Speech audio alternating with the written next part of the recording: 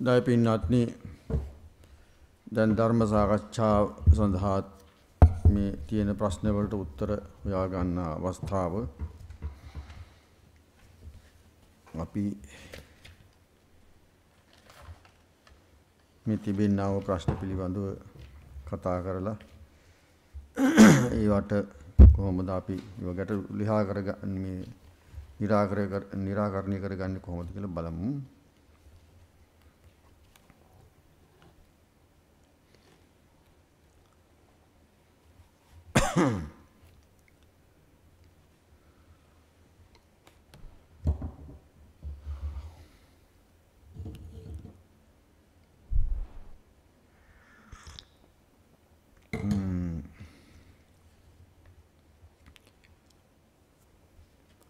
දුක්ඛපත්තාච නිදුක්ඛා ගාථා කියන විට අවසන් කරන්නේ කොහොමද කියන එකයි මේ අහන්නේ.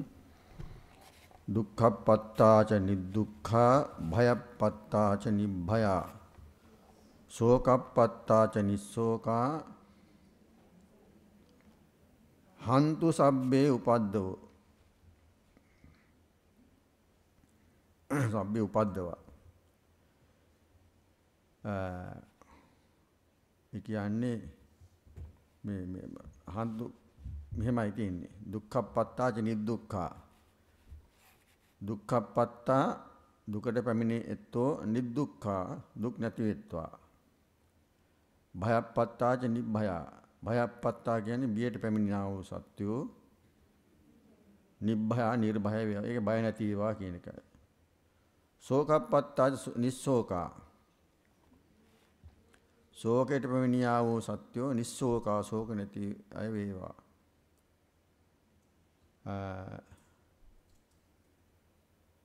දැන් හන්තු සබ්බේ පානිනව කිව්වොත් එහෙම හන්තු කියන්නේ නැසේවා.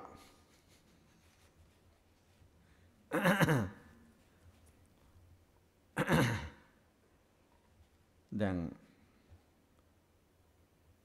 දැන් හන්තු සබ්බේ උපද්දවා කිව්වොත් එහෙම අනු සියලු උදුරු නැසේවා. එතකොට නිදුක්ඛා හොන්තු සබ්බේපි පානිනෝ හොන්තු වෙන්න ඕන. වෙත්වා කියන එක. සබ්බේපි පානිනෝ සියලුම ප්‍රාණි සබ්බේපි පානිනෝ සියලුම ප්‍රාණීන් කියන එකයි. සබ්බේපි පානිනෝ ගාථාවන් කියන කොටත් මේ ඒවයි තියෙනවා පද කඩන විදිහක් තියෙනවා. එහෙම නැති වුණොත් එහෙම ඒකේ තේරුම වෙනස් වෙලා යනවා. අක්ඛ අක්ඛර විපත්‍යංහි අත්තස දුන්නයතා හෝති කියලා තියෙන ව්‍යාකරණයේ කියමනක්. අක්ඛර විපත්‍යං කියලා කියන්නේ අකුරු වැරදි විදිහට උච්චාරණය කිරීමෙන් යෙදීමෙන් අත්තස දුන්නයතා හෝති. තේරුම වැරදි විදිහට යනවා.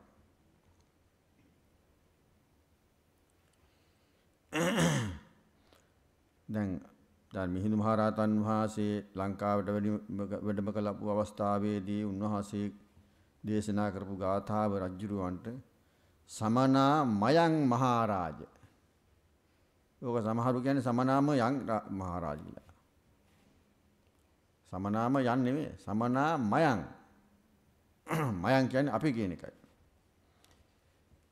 ඒ විදිහට ගාථාවල පද කඩන ක්‍රමයක් තියෙනවා. ඒකට සබ්බේපි පානිනෝ වෙන්න ඕනේ. නැත්තම් සබ්බේ පිමානිනෝ කිව්වොත් එහෙම හරියන්නේ නැහැ. ඒක වැරදි. සබ්බේපි පානිනෝ සියලුම කියන එකයි සබ්බේපි කියලා කියන්නේ. එතකොට හොන්තු සබ්බේපි පානිනෝ මොකද්ද හොන්තු කියලා කියන්නේ? දුක්ඛප්පත්තා නිදුක්ඛා හොන්තු භයප්පත්තා නිබ්භයා හොන්තු ශෝකප්පත්තා නිස්සෝකා නිස්සෝකා හොන්තු කියන එක තමයි ඔය අන්තිම පදෙත් හොන්තු කියලා කියලා තියෙන්නේ.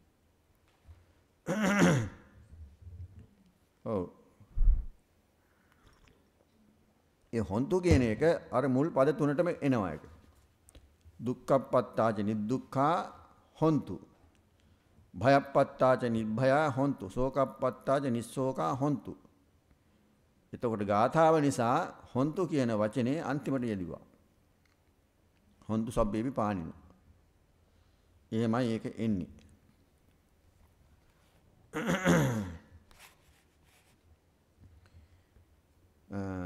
ඊළඟ ප්‍රශ්නේ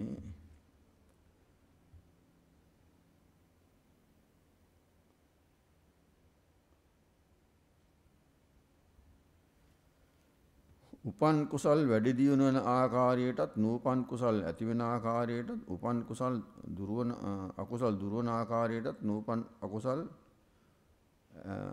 නූපන් කුසල් අකුසල් ඇති නොවන ආකාරයටත් එදිනෙදා ජීවිතයේ ගත කිරීමට කිසියම් උපදෙසක් දෙනවා.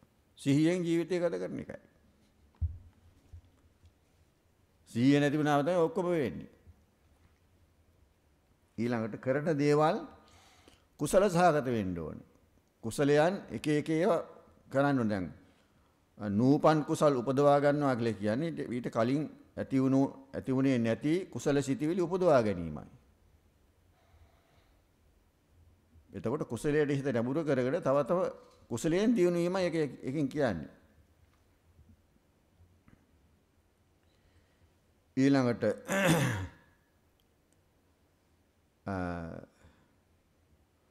උපන් අකුසල් ප්‍රහාණය කිරීම කියලා කියන්නේ මේ තාක් දුර යම් යම් අකුසල සිතුවිලි කරලා තියෙනවා නැත්නම් ක්‍රියා කරලා තියෙනවා ඒවත් හැරීමයි. නූපන් අකුසල් නූපදීමට කටයුතු කරනවා කියලා කියන්නේ මේ මීට කලින් නොකලා වූ අකුසල් නොකර හැරීමයි.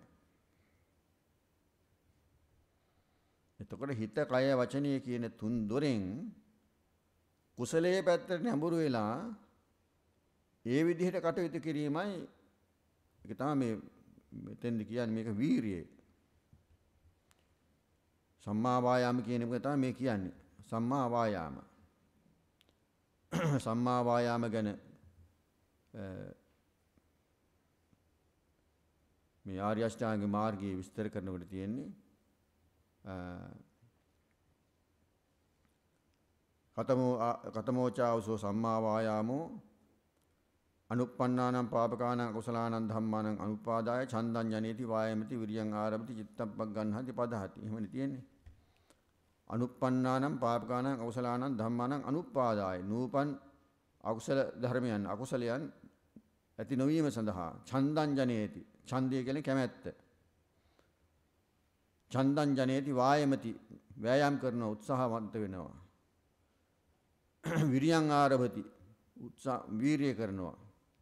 චිත්තම් පග්ගන්හාති හිත උනන්දු කරනවා. පදහති කියන්නේ හිත වඩනවා. අනිත් ඒවාත් ඒ විදිහයි. ඒතර ඒ විදිහට ඇති නූනා වූ අකුසල් ඇති නොවන ආකාරයටත් ඇති වෙලා තියෙනා වූ අකුසලයන් ප්‍රහාණය වෙන ආකාරයටත්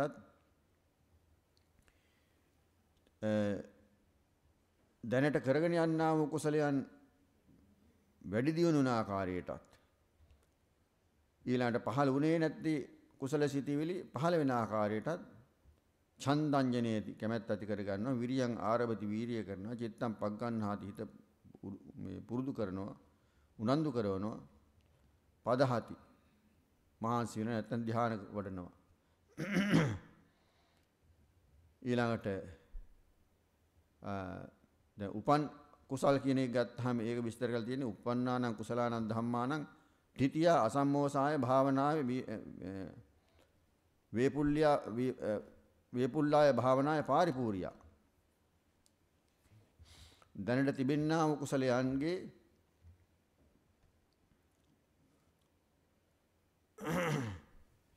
වැඩි දියුණුව කියලා ගත්තාම ඨිතිය අසම්මෝසාය. ඨිතිය කියන්නේ ඒක තියා ගැනීම සඳහා. අසම්මෝසාය ඒක අමතක නොවීම සඳහා නැත්තම් හීන වෙලා යන්න දෙන්නේ නැතුව. භාවනාය පාරිපූර්ය භාවනා කියලා කියන්නේ වැඩි දියුණු වීම සඳහා පාරිපූර්ය අංග සම්පූර්ණ වීම සඳහා. ඒ විදිහට කටයුතු කරන්න ඕන. මේ සතර වැදෑරුම් වීරිය ගැන මේ තියෙන්නේ. සම්මා වායාම. ඒතර ඒ විදිහට ඒ සම්මා වායාමයෙන් කටයුතු කිරීමෙන් තමයි අකුසල් පොදුවේ ගත්තාම අකුසල් නැති වෙනවා කුසල් වැඩෙනවා. එතකොට නිරන්තරයෙන් මේ දේ කරන්න ඕන. මේ කුසලයන් වඩනවා කියන එකට මේ වෙලාවක් නැහැ.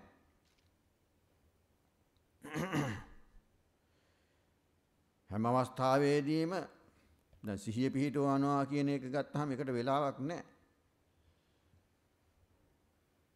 ගතේ තිතේ නිසින්නේ සුත්තේ ජාගෘතිය භාසිය තුන්නී භාවයේ ওই විදිහට සඳහන් කරලා තියෙන්නේ. හැම ඉරියව්වකදීම සිහිය පවත්වන්න ඕන. එතකොට මේ කුසලයේ වැඩිීමේ කියන එකත් හැම ඉරියව්වකදීම සිද්ධ වෙන්න ඕන. එහෙම නැත්නම් කුසලයක් වැඩෙන්නේ නැහැ. ඒ නිසා මේ වීරිය වැඩිීමේ කියන එක නිරන්තරයෙන් තියෙන්න ඕන එකක්. එතකොටයි මේ වීරිය ටික ටික දියුණු වෙන්නේ මේ හතර වැදෑරුම් ආකාරයේ කරුණු ඉෂ්ට සිද්ධ වෙන්නේ එතකොටයි.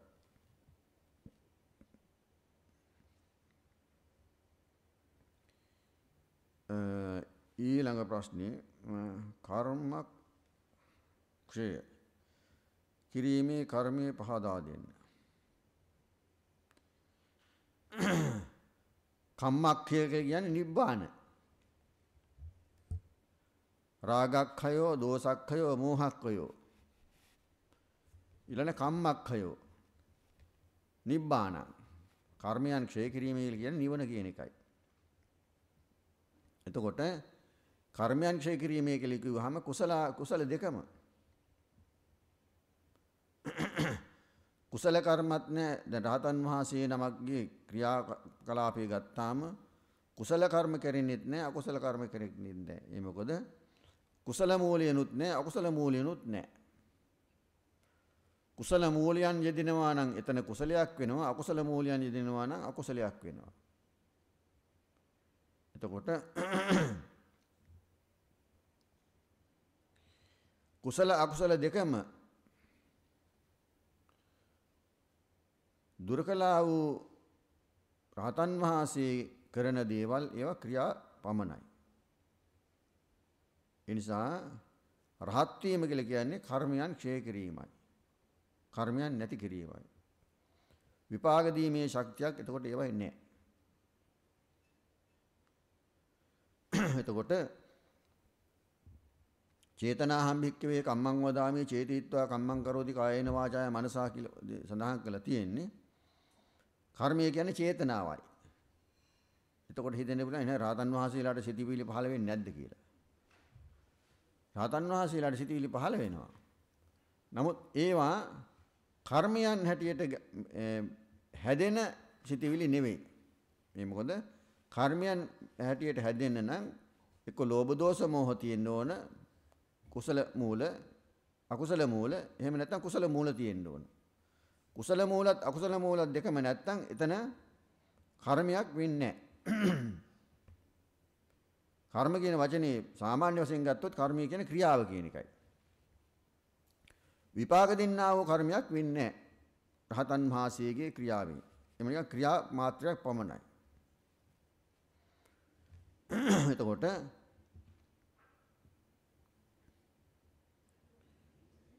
දැන් අර සඳහන් කළා තියෙන පුඤ්ඤ පාප පහීනස්ස නත්ති ජාගරතෝ භයං පුඤ්ඤ පාප පහීනස්ස කියලා කියන්නේ පින්පව් දෙකම දුරු කර කියන එකයි. එතකොට පින්පව් දෙකම දුරු කළා වූ කියලා කියන්නේ කුසල මූල අකුසල මූල කියන දෙකම නෑ කියන එකයි. රහතන් වහන්සේට එතකොට කුසල මූලත් නෑ අකුසල මූලත් නෑ කරන දේ හැම එකක්ම ගත්තොත් එහෙම ක්‍රියා මාත්‍රයක් විතරයි. ඒකේ පැත්තකටවත් වැටෙන්නේ නැහැ. එතකොට තව කෙනෙකුට හිතෙන්න පුළුවන් එහෙනම් ඉතින් රහතන් වහන්සේ රහත් වුණාට පස්සේ සතෙක් එහෙම මරුවට කමක් නැහැ නේ කියලා. එහෙමත් කියනවනේ. ඔය සමහර මේ එක එක දේශු කියලා තියෙන්නේ. රහත් වුණාට පස්සේ කමක් නැහැ කියලා. රහතන් වහන්සේ නමක් නම් එහෙම කරන්නේ නැහැ. රහත් භාවය කියලා කියලා කියන්නේ ඒ සියලුම දේවල් වලින් මිදුණු කියන එකයි.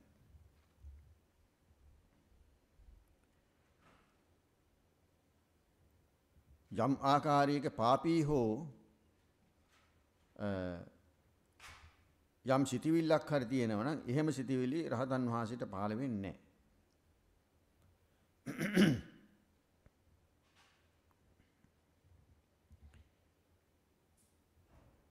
උන්වහන්සේ ලෝභ දෝෂ මෝහයන් අලෝභ දෝෂ අමෝහයන් කියන මේ කුසල කුසල මූලයන් ප්‍රහාණය කරලා තියෙන්නේ. ඒතකොට එහෙම කෙනෙක් හැටියට රහතන් වහන්සේගේ ක්‍රියාකලාපය ගත්තාම සමාජයේ නරකයි කියලා යමක් තියෙනවා නම් ඒකක්වත් සිද්ධ වෙන්නේ හොඳයි කියන දේවල් සිද්ධ වෙනවා. නමුත් ඒවා මේ කුසල විපාක හැටියට ලැබෙන්නේ නැහැ. මොකද කුසල මූල නැති නිසා.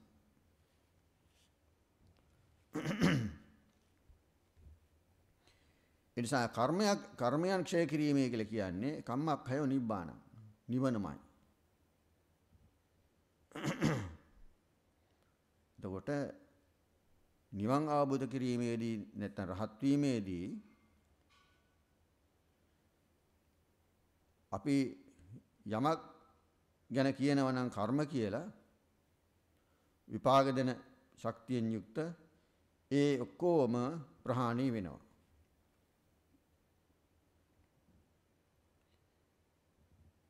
ඒතොර රහතන් වහන්සේ ඊළඟට කරන දේවල් ඔක්කොම ක්‍රියා මාත්‍රයටයි ගනින්නේ.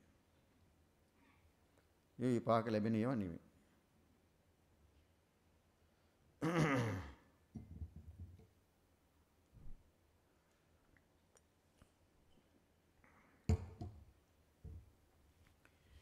ඊළඟ ප්‍රශ්නේ සමාජ ප්‍රශ්නයක් ඒක. බුද්ධාමයේ දේශනා කරන ලද සමානාත්මතාවයේ ලංකාවේ මොකද්ද වන්දන පවතින වාද එහෙමනම් නිකාය ભેදයක් කොහොමද කියලා අහලා තියෙනවා.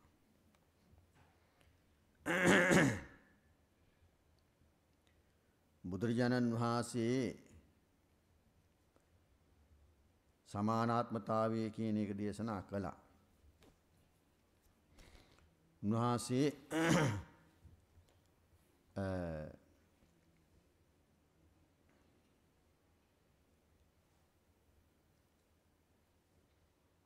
පුජ්‍යලයන් වශයෙන් ගත්තාම පුජ්‍යලයන් සමාජයේ ගත්තාම එදා සමාජයේ බොහොම නොසලකා හරපු පුජ්‍යලයනුත් පැවිදි කළා සුනීත සෝපාක ඒ සමාජයේ නොසලකා හැරපු අය.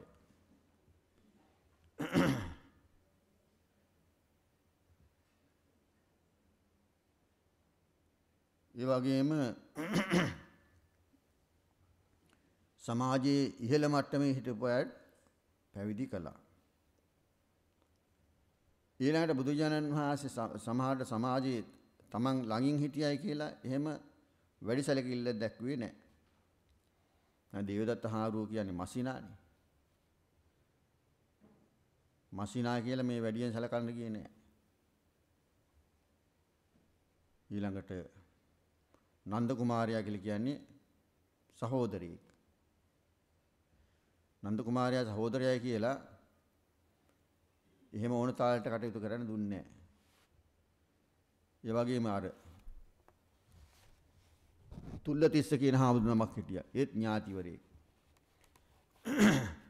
තුල්ලතිස්ස හාමුදුරුවෝ කියලා එතන ඥාති කියලා ඒ කරපු වැරදි වලට බුදුහාරෝ නිහඬ වුණේ නැහැ. ඒවට අවශ්‍ය ප්‍රතිකර්ම කළා. දොස් කිව්වා.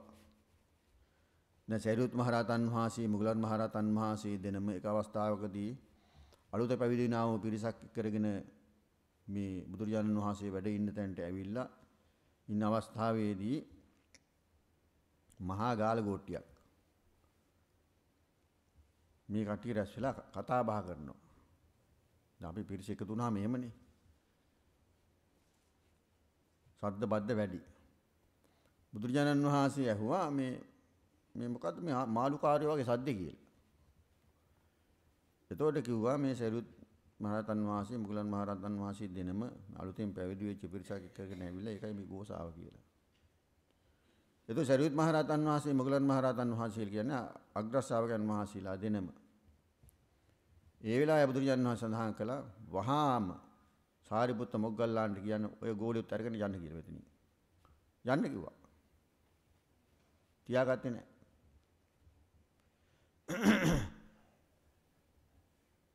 ඉතින් එහෙම කරලා තියෙනවා. ඉතින් මේ දැන් මේ නිකාය ભેද කතාවක් අරගෙන තියෙනවානේ. ලංකාවේ එක ගුරුකුල ભેදයක් එක පැත්තකින් තියෙන්නේ. පුරාණයේ තිබුණා නිකාය ભેදය කියලා එකක්. මොකද්ද?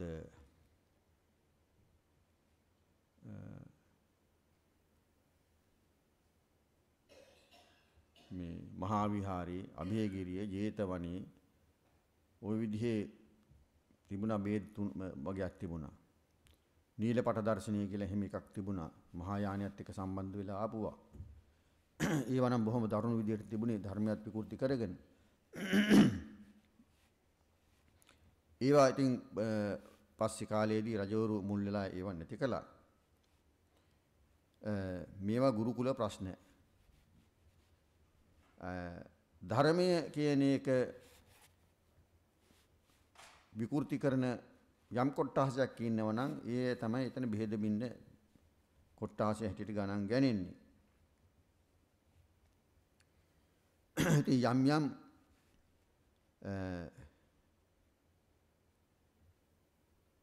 ආකාරයකට සමහර තියෙනවා මේ ඔය පාරම්පරික වශයෙන් යත්තන්ගේ පිළිගැනීම් තියෙන මේ අනුගමනය කරන ක්‍රියාවන් තියෙන දේවා ඒවා පාරම්පරික ප්‍රශ්න මිසක නැත්නම් බුදුරජාණන් වහන්සේ දේශනා කරපුවත් නෙවෙයි අනුමත කරපුවත් නෙවෙයි.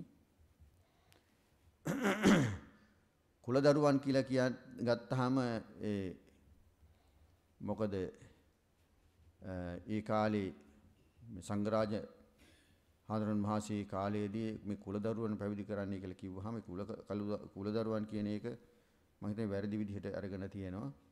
කුලදරුවන් කියලා කියන්නේ එහෙම නෙමෙයි හොඳට හැදිච්ච වැඩි හැදිච්ච ළමයි කියන එකයි කුලදරුවෝ කියලා කියන්නේ. එතකොට දැන් බුදුරජාණන් වහන්සේගේ සමානාත්මතාවය බුදුරජාණන් වහන්සේ සමහර අවස්ථාවලදී ඒ අවස්ථානුකූලව යම් යම් වෙනස්කම් කරලා තියෙනවා. දැන් බුදුරජාණන් වහන්සේම සඳහන් කරනවා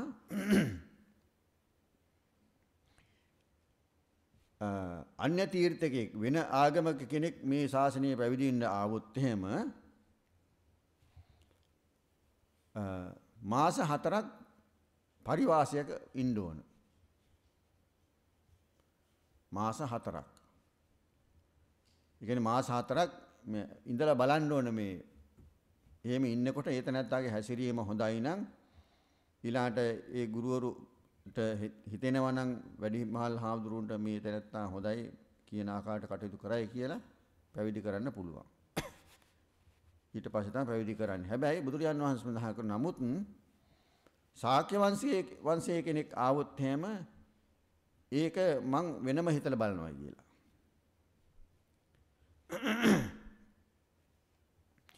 ඒ කියන්නේ ශාක්‍ය වංශයේ කෙනෙක් ආවොත් එහෙම බුදුරජාණන් වහන්සේගේ වංශයේ කෙනෙක් ආවොත් එහෙම එතන විශේෂ සැලකිල්ලක් තියෙනවා. බුදුරජාණන් වහන්සේට පුළුවන්කම තියෙනවා අර නීතිය කඩන්න. ඒක බුදුරජාණන් වහන්සේම සඳහන් කරපු කාරණාවක්.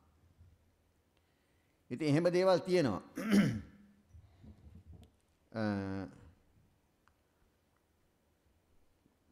මෙතෙන්දී බුදුරජාණන් වහන්සේ අර එදා සමාජයේ තිබුණා වූ පීඩිත తත්වය නැති කිරීමට තමයි ඒ සමාන භාවයක් දක්වලා තියෙන්නේ.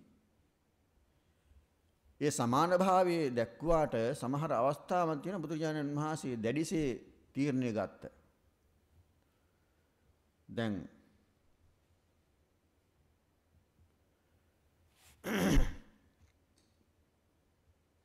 එකක් තමයි මෙහෙණි සස්න කියන එක. මෙහෙණි සස්න පිහිටවීම සඳහා දැන් මුලින්ම කවුද? මහා ප්‍රජාපති ගෝතමිය 500ක් ශාක්‍ය මේ කාන්තාවන් එක්ක බුදුරජාණන් වහන්සේ වෙනුවෙන් කියලා හිස මුඩු කරගෙන මේ කහවත් ඇඳගෙන පයින්ම ආවා. මුලිනුත් බුදුරජාණන් වහන්සේ අනුමත කළේ නැහැ. ඊළඟට එතෙන් ආවට පස්සේ බුදුරජාණන් වහන්සේ අනුමත කළේ නැහැ.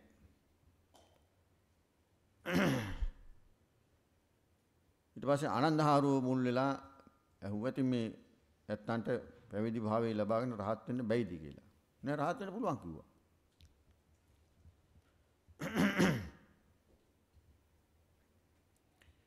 රහත් වෙන්න පුළුවන් කිව්වා. ඒ වෙලාවේ අනන්දමාහිමයන් වහන්සේ බුදුරජාන් වහන්සේට මේ මහා ප්‍රජාපති ගෝතමී පිළිබඳව උන්වහන්සේ ලදුරු අවස්ථාවේදී රැක බලාගත්ත ඒවා ආරාමයේ ඔක්කොම සඳහන් කළා. සඳහන් කරලා ඉතින් මේ තරම් අමාරුවෙන් ඇවිල්ලා ඉන්නේ ඒ නිසා මේකට මේ පිළිබඳව හිතලා බලන්න කියලා. ඒ වෙලාවේ තමයි බුදුරජාණන් වහන්සේ එහෙමනම් මේ අෂ්ටගරු ධර්ම පිළිගන්න කැමති නම් ඒ විදිහට පවතිනවා නම් මේ මහාන උපසම්පදාව දෙන්න පුළුවන් කියලා. ඒක අනුමත කරන්නම් කියලා. එතකොට ඒ අෂ්ටගරු ධර්ම ගැන සඳහන් කරාට පස්සේ ඉතින් මහා ප්‍රජාපති ගෝතමිය මුලින්ම හිසින්ම පිළිගත්තා අනිත් අයත් පිළිගත්තා. ඒ අනුව තමයි මෙහෙණි සසන පටන් ගත්තේ. එතෙන්දී ඒ අෂ්ටගරු ධර්ම වල එකක් තමයි සියක් වසක් ආයුෂ තියෙන මෙහෙණින් වහන්සේ කෙනෙක් එදා පැවිදි වෙච්ච හාමුදුරන්ට වඳින්න ඕන. එදා පැවිදි වෙච්ච පොඩි හාමුදුරන්ට වඳින්න ඕන අවුරුදු 100ක් මේ මහාන වෙලා අවුරුදු 100ක් ගත වෙච්ච මෙහෙණින් ආසේ. ඇයි එහෙම බුදුහාමර සඳහන් කළේ? එහෙම නීතියක් දැම්මේ මොකද?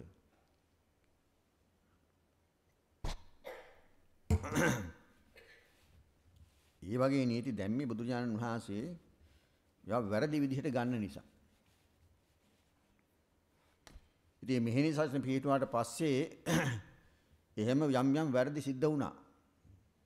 බුදුහාරෝ සඳහන් කළා මෙහෙණි සාසන පිටු ගමන් 5000 කාලයක මේ ශාසනය පවතිනවා නම් දැන් 500යි. ওই විදිහට කතාවක් සඳහන් කළා. 500ක් ඉවරයි. ඒ කියන්නේ ඒකේ යම් යම් අනිෂ්ට විපාක තියෙන නිසා තියෙන කාරණාව තමයි බුදුහාමර සඳහන් කළේ. ඒ විදිහට මේ දේවල් වුණා. එනිසා සමානාත්මතාවය ගැන බුදුහාමරෝ සඳහන් කළා තියෙනවා ඒවා කරලා තියෙනවා. නමුත් සමාජමය වශයෙන් පුජ්‍යලයන් වශයෙන් ගත්තාම ඒ ඇත්තන්ගේ යම් යම් දුර්වලකම් තිබෙන නිසා තමයි බුදුරජාණන් වහන්සේ දැඩි නීති පනවලා තියෙන්නේ. ඒකයි. ඒ නිසා තමයි මෙහෙණි සස්න කියන එකට බුදුරජාණන් වහන්සේ මුලින් තදින්ම විරුද්ධ වුණේ.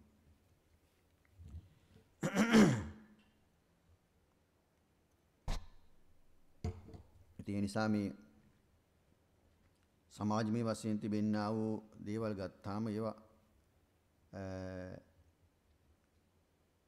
මේ නිකාය ભેද කතාවල් ගත්තාම ඒවත් එක පැත්තකින් මේ අර මුලින් සඳහන් කළා වගේ ගුරුකල ભેදත් ભેදයක් තියෙන්නේ ඉස්සර වගේ මේ ධර්මයේ විකෘති කරගෙන ආපුවා නෙවෙයි.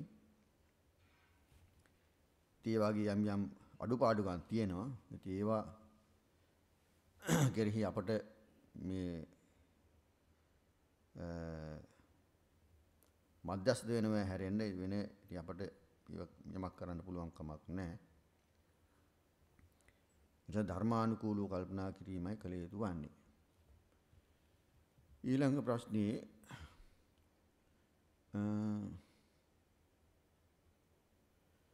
රේරුකාණී ස්වාමින් වහන්සේගේ විදර්ශනා භාවනා ක්‍රමයේ පොත පරිශීලනය කරමින් භාවනා වුරුදු කරන්නේ මේ.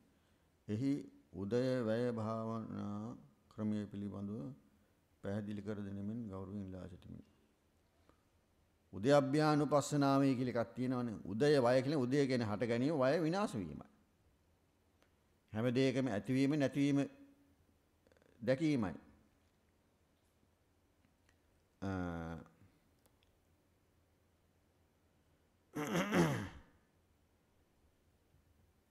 එතකොට උදයබ්භ්‍යානුපස්සන ඔය විසුද්ධි මාර්ගයේදී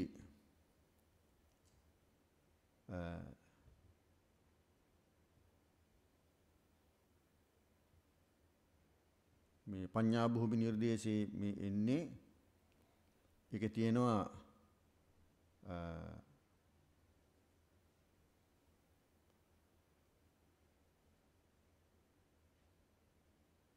උදයබ්භ්‍යානුපස්සනාවී කියලා එකක්.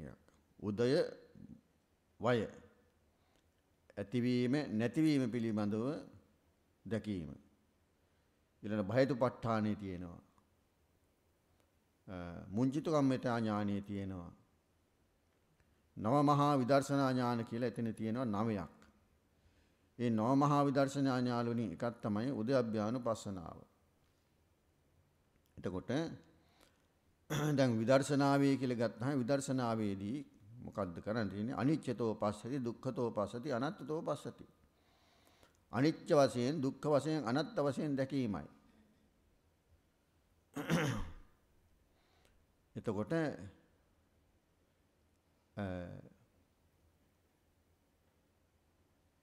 දැන් සතිපට්ඨාන සූත්‍රයේදී ඉති රූපං ඉති රූපස්ස සමුදයෝ ඉති රූපස්ස අත්තංගමෝ ඉති වේදනා ඉති වේදානං සමුදයෝ ඉති වේදනාන අත්ංගමෝ ඔය විදිහට තියෙන්නේ හට ගැනීම විනාශය. ඒතර ඒ විදිහට දැකීමයි නැත්නම් බැලීමයි ඒ විදිහට පේන්නත් ඕන. රූප වේදනා සංඥා සංඛාර විඥාන කියන මේ පහ ගත්තාම මේ පහ පිළිබඳව රූපය කියන්නේ මේකයි රූපී ඇතිවීම මෙහෙමයි මේක නැතිවීම මෙහෙමයි. වේදනාවත් එහෙමයි සංඥාත් එහෙමයි සංඛාරත් එහෙමයි විඥානත් එහෙමයි. ඒ විදිහට බලන්න ඕන. උද්‍යප්පයානුපස්සනාව කියලා කියන්නේ ඒකයි. මේ සියලුම දේවල් පිළිබඳව උදය හටගන්න ආකාරය වය විනාශ වෙන ආකාරය බැලි දැකීමයි. එතකොට ওই නව මහා විදර්ශනා ඥානවල එකක් තමයි උද්‍යප්පානුපස්සනාව මේ විදර්ශනා ඥාන පිළිවෙලින් ඒ විදිහට දක්වලා තිබෙන්නේ. එතකොට දැන් මුංචිතු කම්මිතා ඥානය කියලා කියන්නේ මුංචිතු කම්මිතා මිදී යෑම සඳහා තියෙන උවමනාව ආසාව. ඒ විදිහට මේ එකින් එක දක්වලා තිබෙන්නේ නවයක් තියෙනවා. මිසිදි මාර්ගයේ විස්තර වෙනවා. එතෙන්දී එතනින් මේ උදයවය කියලා කියන්නේ ඇතිවීමත් නැතිවීමත් හැම දෙයක් පිළිබඳව යමක් ඇති වුණොත් එතන නැතිවීමක් තියෙනවා කියන ඒ දැකීම.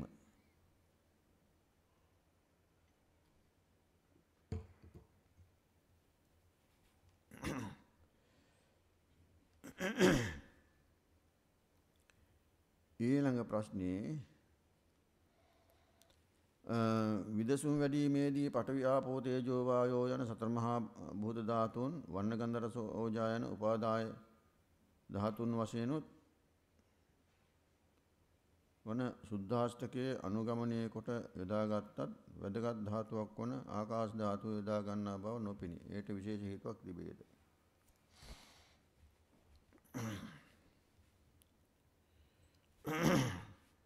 දැන් ධාතු මනසිකාරයේ තිබෙනානේ. අත්තිමස්මින් කායේ පඨවි ධාතු ආපෝ ධාතු තේජෝ ධාතු වායෝ ධාතු. ওই ධාතු මනසිකාරයේ තිබෙන්නේ ඔහමයි. පඨවි ආපෝ තේජෝ වායෝ වන්නගන්ධ රස ඕජා කියන හතර එකටමයි තිබෙන්නේ. ඒවට කියන අවිනිභෝග රූප කියලා. මේ වෙන් කරන්න බැරි ඒවා. එතකොට දැන් කසින වශයෙන් ගන්නකොට තියෙනවා කසින කසින වල තියෙනවා පඨවි කසනේ ආපෝ කසනේ තේජෝ කසනේ වායෝ කසනේ. ඊළඟට නීල පීත නීල පීත ලෝහිත ඕදාද. ඔය විදිහට තියෙනවා. ඊළඟට ආකාශ කසිනේ කියලාක හේවුත් තියෙනවා. එතකොට දැන් ආකාශ කසිනේ ගත්තොත් දැන් ආකාශ කසිනේ මේ පැත්තකින් තියමු ආකාශ කියලා ගත්තාම දැන් ධාතුව කියන්නේ මූලයනේ. දැන් ක්‍රියාවක ක්‍රියා ධාතු කියන්නේ ක්‍රියාවේ මූලයයි. එතකොට දැන් පඨවි ආපෝ තේජෝ වායෝ කියන හතර ගත්තාම පඨවි කරකස ස්වභාවය ආපෝ වැగిරෙන ස්වභාවය තේජෝ කියලා කියන්නේ උෂ්ණය හෝ සීතල වායෝ ගමන් කරන ස්වභාවය. ඒතර ආකාශ ගත්තාම ඒකකටවත් අයිති වෙන්නේ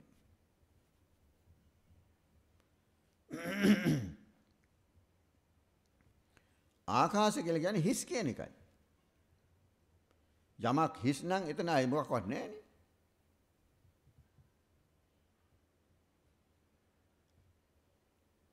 එතන පඨවි ගතියක් නැහැ, ආපෝ ගතියක් නැහැ, තේජෝ ගතියක් නැහැ, වායෝ ගතියක් නැහැ.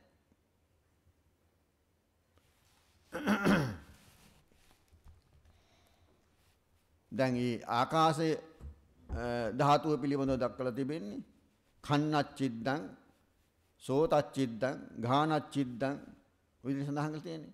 කනේ සිදුර. ඒ අවකාශය එතන ආකාශය. ආකාශය කියන්නේ හිස් කියන එකයි.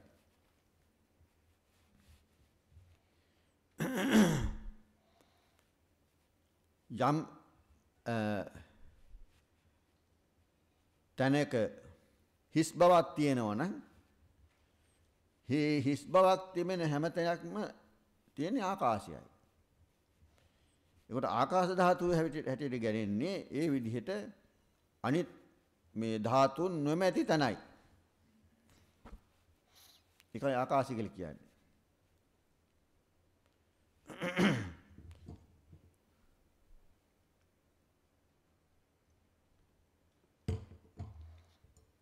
පඨවියාපෝ තේජෝ වායෝ කියන මේ සතරමා භූතයන් නැති යම් තැනක් තිබෙනවා නම් ඒක තමයි ආකාශ ධාතුව වෙන්නේ.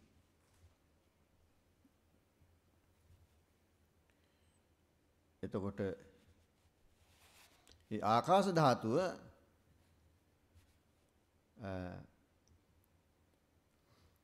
අපි දැනගන්න ඕන මේක හිස් දෙයක් කියලා.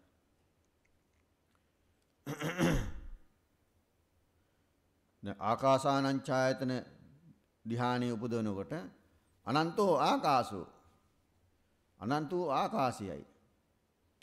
ඒ ආකාසානංචායතන ධානීය වඩන්නේ කොහොමද? දැන් පඨවි කසිනේ නම් වැඩුවේ පඨවි කසිනේ වඩලා ධාන හතර උපදවගෙන ඊට පස්සේ මොකද කියන්නේ කරන්නේ?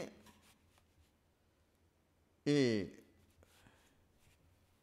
ධාන උපදවා ගැනීම සඳහා උපකාර වුණා වූ ඊළඟට මේ සිතට පහළ වුණා වූ සිතේ දිනුනා වූ ඒ ආකා මේ පටවි අරමුණ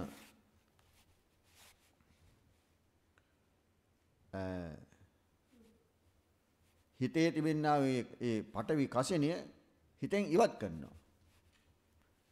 හිතෙන් ඉවත් කරාට පස්සේ එතන කසිනුග්ඝාට මාකාශය කියලා කියන්නේ. කසිනිය දුරු කළා වූ නැත්නම් උගුලල දැම්මා වූ ආකාශي ඉඩ එතන එතන හිස් බවක් තියෙන්නේ. අන්න ඒ හිස් බව අරමුණු වශයෙන් වැඩිවීමෙන් තමයි ආකාසානංචායතන ධානය උපදවන්නේ. අනන්තෝ ආකාසෝ දැන් මේ පටවි කසිනේ වඩන යෝගාවචරයට පුළුවන්කම තියෙනවා ධාන මට්ටමට එනකොට තමන්ගේ හිතෙන් මේ පටවි කසිනේ ගත්තාම මේ පීරිසිය විතර ප්‍රමාණය එකක් ඊට වඩා පොඩ්ඩක් ලොකු වෙයි. නමුත් ඒක හිතෙන් මුළු ලෝකෙම වඩන්න පුළුවන්. මුළු ලෝකෙම පේන්නේ අර කසිනේ විතරයි. එතකොට ඒ ආරම්මණය හිතෙන් ඉවත් කළාට පස්සේ අර මොකක්වත් නැහැ එතකොට. හිස්. ඒ හින්දා ඒකට කියනවා කසිනු ගහට මාකාශය. කසිනිය ඉගුලුවා වූ ආකාශය කියලා. ඒ ආකාශය අරමුණු කරගෙන තමයි ඔය ආකාසානංචායතන ධානය උපදවන්නේ. ඒතර ආකාශ ධාතුවේ කියලා කියන්නේ අනිත් ධාතුන්ගෙන් වෙන් වෙච්ච යම් ඉඩක් තියෙනවා නම් ආන්න ඊඩයි. හිස් ඒ හිස් වූ ස්වභාවය තමයි ආකාශ ධාතුව කියලා කියන්නේ. එනිසා මේ ආකාශ ධාතුව එතකොට වර්ණ ආදී කිසි දෙයක් හොයා දැනගන්න නැති එකක්.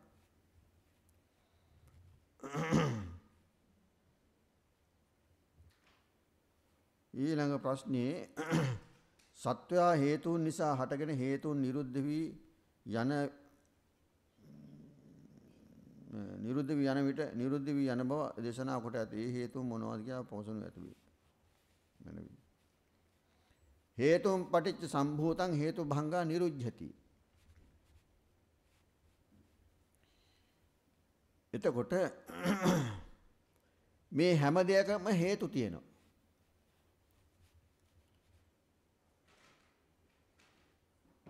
මොනවද හේතු දැන් පටිසමුපාදී ගත්තහම අවිජ්ජා පත්‍ය සංඛාරා අවිද්‍යාව හේතු වෙනවා සංඛාරවලට සංඛාර පත්‍ය විඥානං සංඛාර හේතු වෙනවා විඥාණයට. විඥාන පත්‍ය නාම රූපං. විඥානයේ හේතු වෙනවා නාම රූප වලට. නාම රූප පත්‍ය සලආයතනං නාම රූප හේතු වෙනවා සලආයතන වලට. සලආයතන පත්‍ය පස්සෝ. සලආයතන නිසා තමයි හේතු කරගෙන පස්සේ ඇති වෙන්නේ. පස්ස පත්‍ය වේදනා. ඒ ස්පර්ශයේ හේතු වෙනවා වේදනාවට. වේදනාපච්චය තණ්හා. ඒ වේදනාව හේතු වෙනවා තණ්හාවට. තණ්හාපච්චය උපාදානං. තණ්හාව හේතු වෙනවා උපාදානයට. උපාදානපච්චය භවෝ. උපාදානයේ හේතු වෙනවා භව භවයට. භවපච්චය ජාති. භවයේ හේතු වෙනවා ජාතියට. ජාතිපච්චය ජරා මරණං. ශෝක පරිදේව දුක්ඛ දෝමනස පායස සම්භවಂತಿ. එතකොට මේ ජාතිය හේතු වෙනවා ජරා මරණ ශෝක පරිදේව දුක්ඛ දෝමනස උපායාස කියන මේ දුක් වලට. ඒ මේ තස්ස දුක්ඛක්ඛන්දස සමුදයෝ හෝති. මෙන්න මේ විදිහට තමයි මේ දුක්ඛ සමූහය ඇති වෙන්නේ. එතකොට පටිසම්පාදයේ ගත්තාම ඒ එකක් එකක් අනිත් අනිත් ඒවට හේතු වෙනවා. ඒතකොට හේතුන් නිරුද්ධ කිරීමෙන් ඒ ඔක්කොම නැති වෙනවා. අවිජ්ජායත්තේව අශේෂ විරාග නිරෝධා අවිද්‍යාව ඉතුරු නැතුව නිරුද්ධ කිරීමෙන් සංඛාර නිරෝධා සංස්කාරයන් නිරුද්ධ වෙනවා. සංඛා නිරෝධා විඥානි නිරෝධෝ සංඛාරයන් නිරුද්ධ කිරීමෙන් විඥානි නිරුද්ධ වෙනවා. විඥානි නිරෝධා නාම රූප නිරෝධෝ විඥානි නිරුද්ධ කිරීමෙන් නාම රූප නිරුද්ධ වෙනවා. නාම රූප නිරෝධා සලආයතන නිරෝධෝ නාම රූපයන් නිරුද්ධ කිරීමෙන් සලආයතන නිරුද්ධ වෙනවා. සලආයතන නිරෝධා පස්ස නිරෝධෝ මේ සලආයතනයන් නිරුද්ධ කිරීමේ ස්පර්ශය නිරුද්ධ වෙනවා. පස්ස නිරෝධා වේදනා නිරෝධෝ ස්පර්ශයන් නිරුද්ධ කිරීමේ වේදනාව නැති වෙනවා.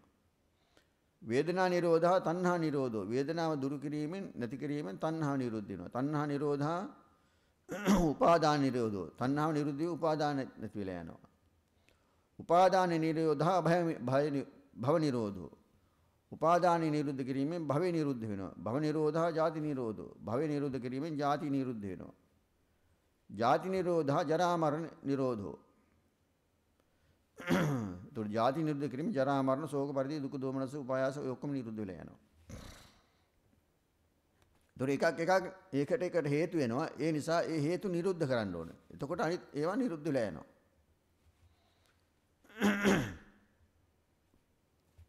එතකොට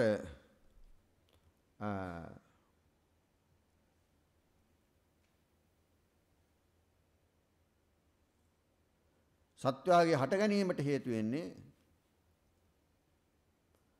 අවිද්‍යාව මුල් වෙනවා.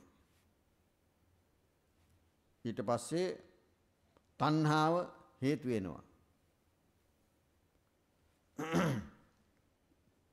එතකොට තණ්හාව සමුදේනේ. තණ්හාව නිසා තමයි මේ ඔක්කොම හට ගැනීම සිද්ධ වෙන්නේ. යායන් තණ්හා පෝනෝ භවිකා නන්දිරාග සාගතා තත්ත තද්දාපි නන්දිනී සේති ඉදං කාම තණ්හා භව තණ්හා විභව තණ්හා ධම්මචක්කප්පවත්තන සූත්‍රයේ දැන් ටික ඉස්සෙල්ලා සජ්ජායනා කරන්නේ. ඒකේ තිබුණේ ඒකනේ. යායන් තණ්හා පෝනෝ භවිකා නන්දිරාග සාගතා යම්මේ තණ්හාවක් තිබෙනන පෝනෝ භවිකා පුනර්භව ඇති කරන නන්දිරාග සහතා නන්දි ඇලීම ආසාව ඇති කරන తත්‍ර తත්‍රාභි නන්දිනී ඒ ඒ තැන්වල ඇලුම් කරන්න ශයේති දැන් කොහොමද කාම තණ්හා භව තණ්හා විභව තණ්හා කාම භව විභව කියන මේ තණ්හාවයි. ඒ තණ්හාව නිසා තමයි මේ හට ගැනීම ඇති වෙන්නේ. එතකොට භවයෙන් භවයේ ඉපදීමට හේතු වෙන්නේ තණ්හාවයි. ඒක තමයි හේතුව. ඒ හේතුව නිසා හට ගැනීම ඇති වෙනවා. හේතුව නැති කරාට පස්සේ හට ගැනීම නවතිනවා. තණ්හාව නැති වෙනකොට ඒ හේතු නිරුද්ධ වෙනවා. එතකොට ආයෙ හට ගැනීමක් නැහැ. එතකොට තණ්හාව නිරුද්ධ වෙන්න ඕන. දැන් චතුරාර්ය සත්‍යය ගත්තාම සමුදය සත්‍යයට තියෙන තණ්හාවනේ. ඒතකොට ඒ තණ්හාව නැති වෙන්න ඕන. තණ්හා නිරෝධ කිරීමෙන් තණ්හාව දුරු කිරීමෙන් තමයි නිරෝධය ඇති වෙන්නේ. නිරෝධය කියන්නේ නිවනයි.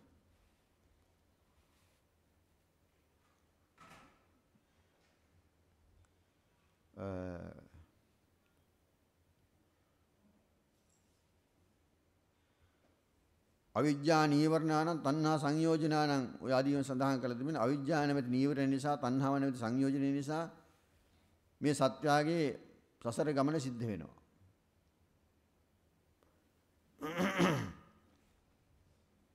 එතකොට ඒවා නැති කරන්න ඕන. ඒව නැති කරොත් තමයි මේ භවයේ නවත්තන්න පුළුවන්කම තියෙන්නේ.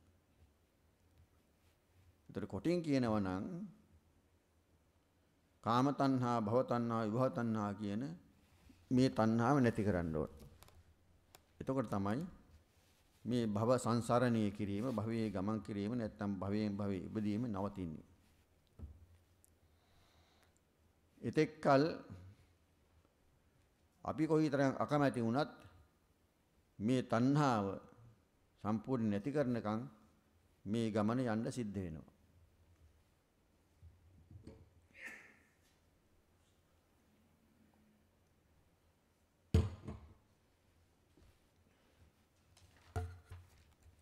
ඊළඟ ප්‍රශ්නේ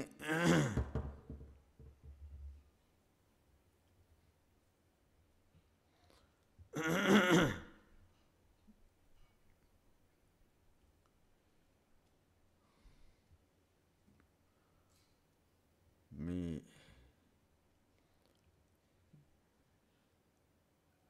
ඊළඟ ප්‍රශ්නේ තියෙන්නේ මේ සිවුරක් සිවුරේ ප්‍රශ්නයක්.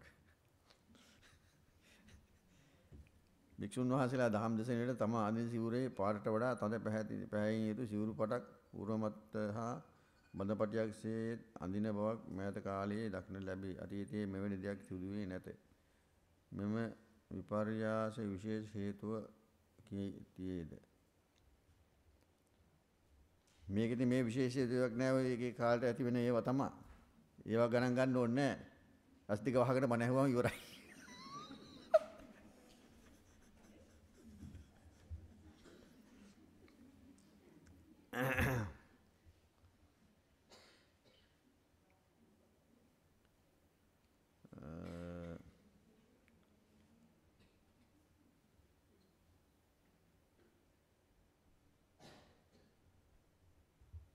තව ප්‍රශ්නයක් තියෙනවා මට කියව ගන්න අමාරුයි. ලියලා තියෙන හැටියට.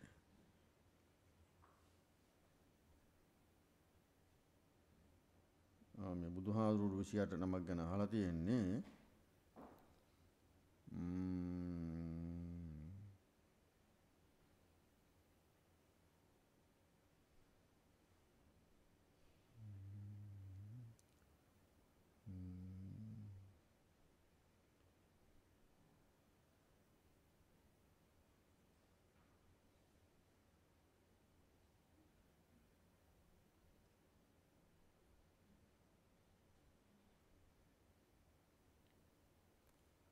கொஞ்சம் அபூர்வண்டைக்கு மாறு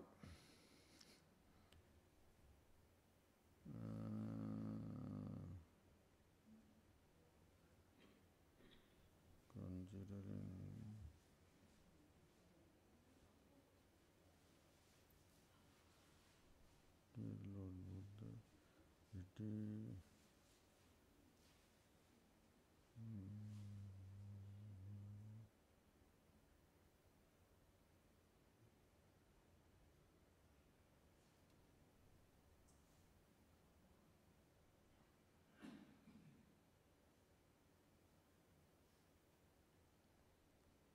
මේක අදහස හැටියට මට පේන විදිහ මෙහෙමයි. බුදුරජාන් වහන්සේලා 28 නමක් පහළ වුණානේ. පහළ වුණා කියන්නේ 28 නෙමෙයි ඒකත් මතක තියාගන්න ඕනේ. බුද්ධ විෂයෝ අචින්තේයෝ නචින්තේයෝ නචින්තේ තබ්බෝ බුදුරජාන් වහන්සේලාගේ බුද්ධ විෂය කියන එක හිතලා අවසන් කරන්න පුළුවන් එකක් නෙමෙයි. බුදුරජාන් වහන්සේලා 28 නමක් විතරක් නෙමෙයි පහළ වුණේ.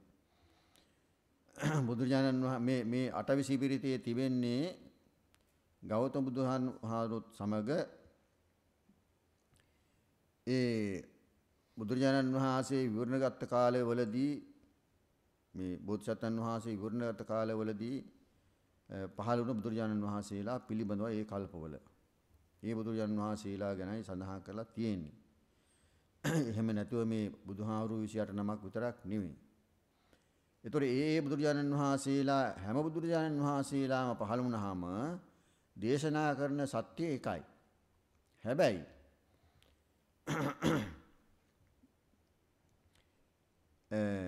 මේක බුදුරජාණන් වහන්සේ මේ සත්‍ය හොයා මේ අමුතුවෙන් හොයාගත්ත නෙමෙයි. දැන් ඒ හින්දානේ ධම්මචක්කප්පවත්තන සූත්‍රයේ සඳහන් කරලා තියෙන්නේ අනනුස්සතේසු ධම්මේසු න අනුස්සත කියන එක කලින් අහ ඇහුනේ නැති. දැන් බුදුරජාණන් වහන්සේ කෙනෙක් පහළ වෙලා ඒ බුදුරජාණන් වහන්සේගේ කාලය ඉවරුණාට පස්සේ ධර්මයේ නිකන් නැති වෙලා වගේ යනවා. එතකොට මිනිසුන්ට අහන්න ධර්මයක් නැහැ. එතකොට ඊළඟට බුදුරජාණන් වහන්සේ පහළ වෙලා උන්වහන්සේ තමන් වහන්සේම මේ ධර්මය අවබෝධ කරගෙන ඊට පස්සේ දේශනා කරනවා. ඒකෙන් කියන්නේ මේ බුදුහාමුදුරුවෝ මේක අලුතෙන් හොයාගත්තා කියන එක නෙමෙයි. උන්වහන්සේ සංසාරයේදී හිත වඩලා තියෙන කෙනෙක්. ඉතින් ඒ නිසා මේ ජීවිතේ මේ මනුස්ස ලෝකයේ ඇවිල්ලා ඉපදිලා ඊළඟට තමන් අර අතීතගත ඥාන ශක්තියත් අරගෙන ඒකත් උපයෝගී කරගෙන හිත වඩලා බුද්ධත්වයේ අවබෝධ කරගන්නවා. අවබෝධ කරගෙන ඒ අවබෝධ කරගත් වූ ධර්මයේ චතුරාර්ය සත්‍ය ධර්මයේ ලෝකෙට දේශනා කරනවා.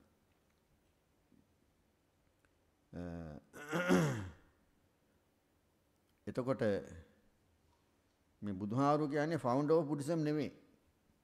ෆවුන්ඩර් කියන්නේ අලුතෙන් හොයාගත්ත කෙනෙක් නේ. අලුතෙන් හොයාගැනීමක් නෙමෙයි. මේක සංගවි පැවතුනා වූ එකක් හෙලි කිරීමක්. බුදුහාරු කරන්නේ. බුදුජානන් වහන්සේ කෙනෙක් පහළ වෙලා පිරිනම් පෑවට පස්සේ ඊට පස්සේ ඒ ධර්මයේ පිළිබඳව කියා දෙන්න කෙනෙක් නැහැ. ඒ කාලේ දැන් මේ විදිහේ සංඝයා වැඩ හිටියේ නැත්තම් ඒ බුදුරජාන් වහන්සේගේ කාලයේ වුණාට පස්සේ ඒ ධර්මයේ පිළිබඳව කියා දෙන්න කෙනෙක් නැති වෙනවා. එහෙම ගිහිල්ලා ගිහිල්ලා ඊට පස්සේ පිරිහිලා ගියාට පස්සේ අනිත් බුදුරජාණන් වහන්සේ බෝධිසත්වයන් වහන්සේ හැටියට මේ ලෝකේ පහළ වෙලා තමන්ම උනන්දු වෙලා තනියෙන් බුද්ධත්වය අවබෝධ කරගන්නවා. මේ සසරගත ඥාන ශක්තියත් එක්ක. ඒක අවබෝධ කරගෙන ඒ අවබෝධ ඥානයේ තුලින් බුදුරජාණන් වහන්සේ චතුරාර්ය සත්‍ය දේශනා කරනවා. බුදුරජාණන් වහන්සේ කෙනෙක් මේ ලෝකේ පහළ වුණත් නැතත් ත්‍රිතාවසා ධම්මධාතු කියලා සඳහන් කළානේ. ඒ ධර්ම ස්වභාවය ලෝකේ පවතිනවා. ඒක බුදුරජාණන් වහන්සේ පහළ වුණත් එකයි නැතත් එකයි. ඒක තියෙනවා. නමුත් බුදුරජාණන් වහන්සේ කරන්නේ ඒ ධර්මයේ උන්වහන්සේ අවබෝධ කරගෙන ලෝකයාට හෙළි කරලා දීමයි. ඒකයි කරන්නේ. එහෙම නැතුව බුදුහාමුදුරුවෝ කියලා කියන්නේ හරියට අලුතෙන් මේ අමුතුවෙන් යමක් හොයාගත්ත කෙනෙක් නෙමෙයි. එහෙම නෑ එකක් නෙවෙයි කරන්නේ මේ සදාතනික හැමදාම ලෝකයේ පවතිනා වූ ධර්මතාවය බුදුරජාණන් වහන්සේ බුද්ධත්වයේ අවබෝධ කරගෙන තමන් වහන්සේම උත්සාහවන්තයෙන් උත්සාහයෙන් අවබෝධ කරගෙන ඒක දැනගෙන ලෝකයාට පෙන්වලා දෙනවා. ඒකයි කරන්නේ බුදුරජාණන් වහන්සේ. එතකොට අටවිසි පිරිත ගත්තාම බුදුරජාණන් වහන්සේලා 28 නමක් ඉන්නවා. ඒකෙන් කියන්නේ මේ බුදුරජාණන් වහන්සේලා 28 නමයි පහළ වුණේ කියන එක. කෝටි කෝටි ගණන් බුදුරජාණන් වහන්සේලා මේ ලෝකයේ පහළ වුණා.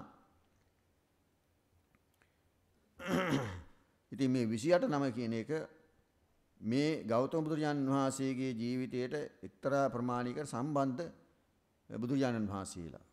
ඒකයි.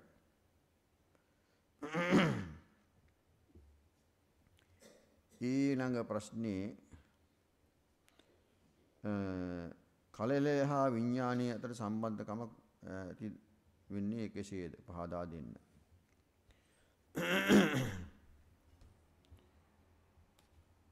මෙතෙන්ද බුදුරජාණන් වහන්සේ මේ ගැන සඳහන් කරලා තියෙනවා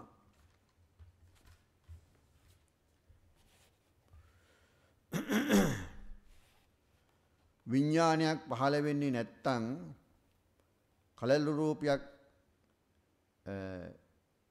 මූලික අවස්ථාවේදී කලල රූපයක් ඇති වුණාට ඒක පවතින්නේ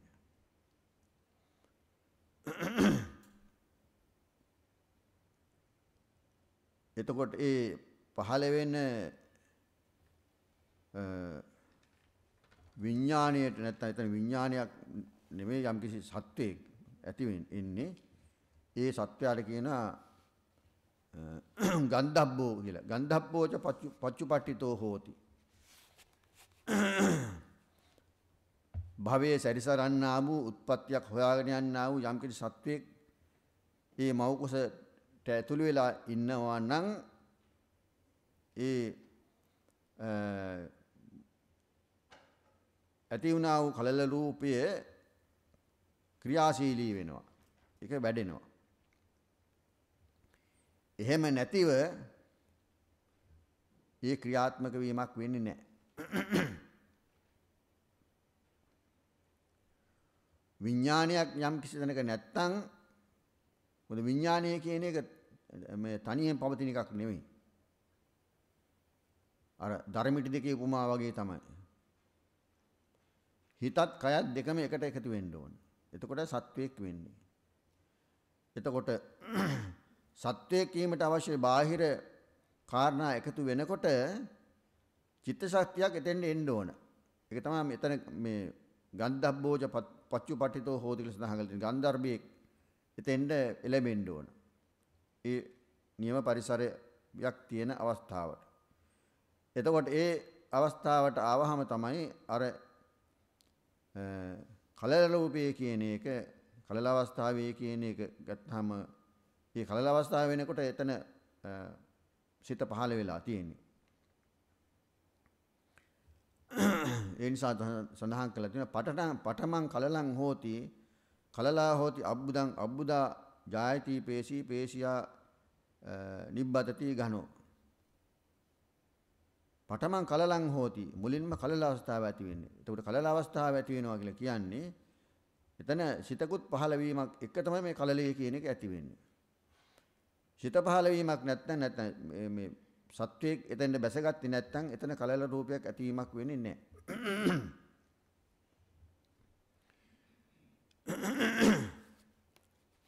එතකොට මේ ගන්ධබ්බ කියලා කියන්නේ එතන විඥානයක් පහළ වීමක් ගත්තාම විඥානය වශයෙන්ම ගන්න අමාරුයි යම් කිසි සත්වයක් කියන එකයි. සංසාරයේ ඇවිදින්නා වූ යම් කිසි සත්වයක් කොහේ හරි ඉඳලා ඕපපාති සත්වයක් එතෙන්ට බැස ගන්නවා. එතකොට ඒ අනුව තමයි මේ කලල රූපී හට ගැනීමක් සිද්ධ වෙන්නේ. ඉතින් ඉහාට තමයි මේ කලල රූපී වර්ධනය වීමක් වෙන්නේ. එතකොට මේ සත්වයේ බැස ගැනීමක් නැත්නම් ඒ කලල රූපී වර්ධනය වීමක් වෙන්නේ නැහැ.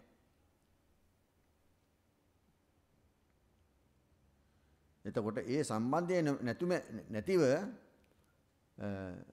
කලලයක් හැදෙන්නේ නැහැ. එතනින් එහාට සත්වයේගේ පහළවීමක් සිද්ධ වෙන්නේ නැහැ.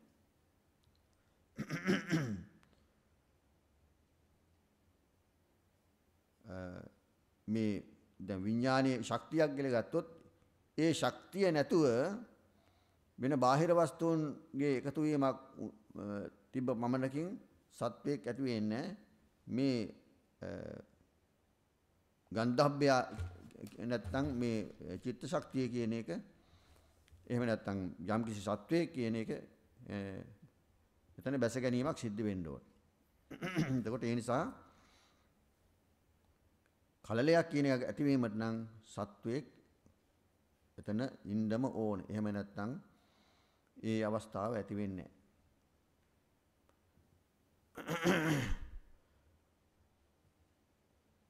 ඒ නිසා සඳහන් කළේ පඨමං කලලං හෝති මුලින්ම කලල අවස්ථාව ඇති වෙනවා කලලා හෝති අබ්බුදං අර්බුදකාරී ස්වභාවයක් වෙනවා අබ්බුදා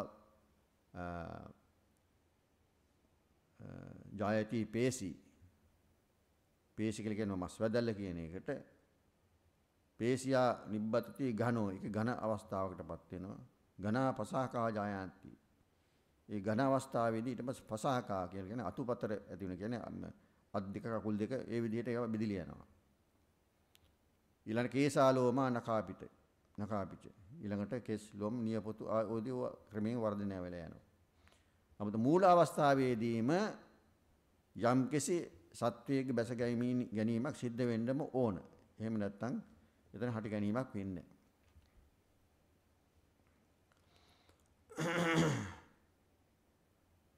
ඊළඟට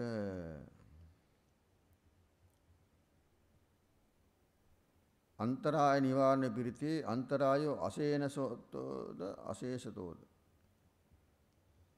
මේ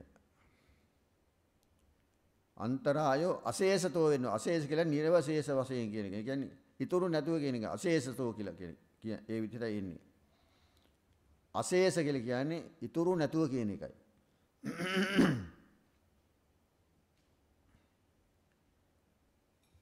සමහර පොත්වල මේ මුද්‍රණ දෝෂ තියෙනවා. අකුරු දෝෂ. ඒවා හරියට බලලා නැහැ. එතකොට වැරදි විදිහට තිබ්බහම ඉතින් අපේ අය ඒ විදිහට ඒ විදිහටම කියනවා. ඒක වැරදි. ඒ නිසා අශේෂ වෙන්න ඕන. අශේෂ තෝ වෙන්න ඕන. නිර්වශේෂ වශයෙන් ඉතුරු නැතුව කියන එකයි.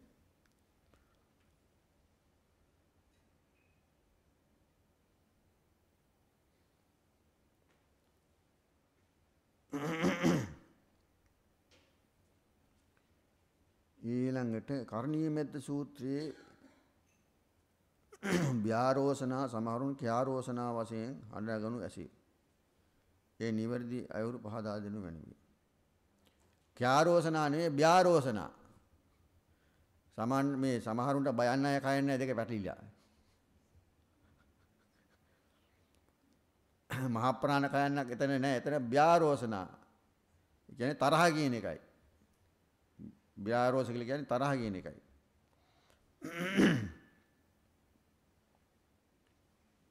මේ ඒ නිසා මේ ගාථාවන් කියනකොට හරියට හොයලා බලලා හරියට බලලම කියන්න ඕනේ. නැත්තම් සම්පූර්ණ වැරදි. අර මම මුලින් සඳහන් කළේ අක්කර විපත්‍යන්හි අත්තස දුන්නයතා හෝති. අකුරු වැරදි වෙට දිවහම කිව්වහම තේරුම වැරදි. ව්‍යාරෝසනා පටිඝ සංඥානෙන්නේ. සමහර අය කියනවා නච කුද්දං කියන එක නච බුද්දං කියලාත් කියනවා. එහෙම කියන අයත් ඉන්නවා. නච කුද්දං වෙන්න ඕන. නච කුද්දං සමාචරේ. එතන කුද්ද කියන්නේ පුංචි කියන එකයි. පොඩි ඌද වැරද්දක් කරන්නේ නැහැ කියන එකයි.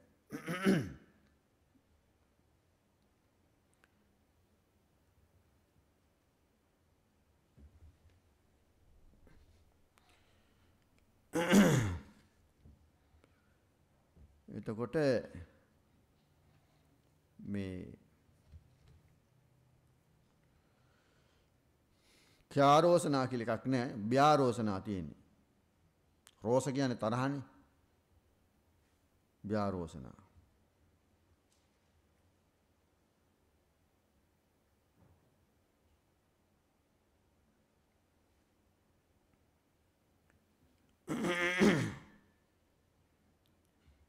ඊළඟ ප්‍රශ්නේ කාමයේ වර්ධව හැසිරීමේ පාපයෙන් පිරිමියෙකු ඊළඟ ආත්මයේ ස්ත්‍රියක වන බව අසා ඇත.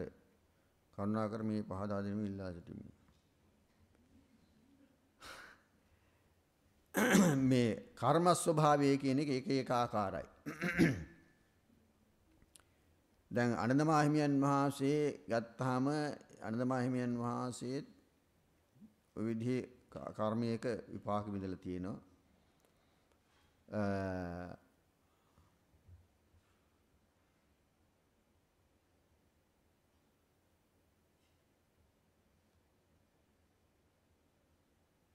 යම් යම් අකුසල කර්ම තිබෙනවා. ඒ අකුසල කර්ම වලට එක එක ආකාරයේ ස්වභාවයන් ඇති වෙනවා.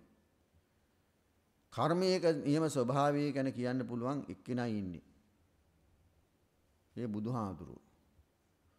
අනිත් පැත්තට කාටවත් ඔය කර්මයේ තියෙන ස්වභාවය කියන්න බෑ. ඒ නිසා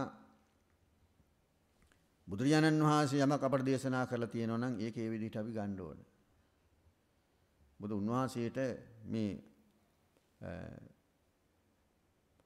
සත්වයන්ගේ කර්ම ස්වභාවය පිළිබඳව දැකීමේ හැකියාව තිබෙනවා. ඒක වෙන කාටවත් නැහැ. ඒ හින්දා බුදුරජාණන් වහන්සේ තමයි මේවා දේශනා කරලා තියෙන්නේ. මේ මේ ආකාරයේ වැඩි කිරීමෙන් මේ මේ ජීවිත ලැබෙනවා කියන එක.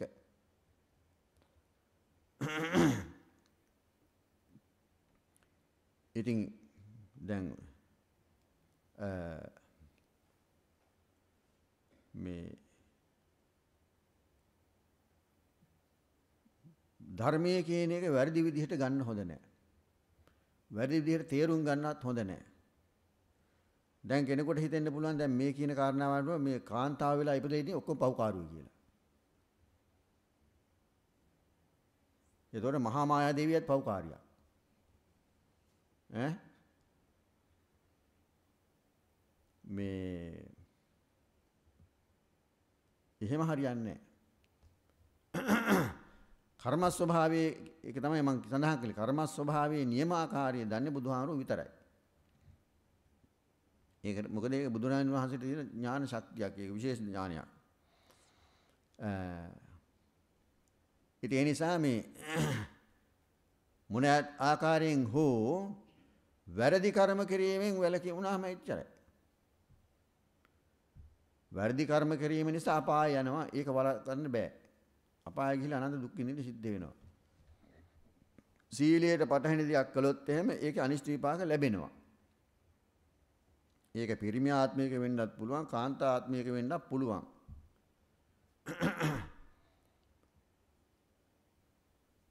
දැන් අර පහුගිය දවස්වල මහා ගාලගෝට්ටියක් ගියේ බොරු කිව්වහම ගෑනු වෙලා උපදින කතාවක්. එතකොට